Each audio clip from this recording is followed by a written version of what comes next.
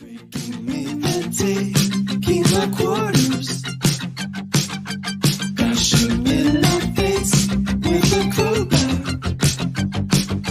Kicking me and pushing me over. Now they see my blood on their sneakers.